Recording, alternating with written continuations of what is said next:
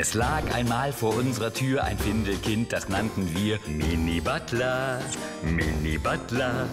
Wir machten es ihm hübsch und recht, seitdem dient er bei uns als Knecht. Mini Butler, Mini Butler.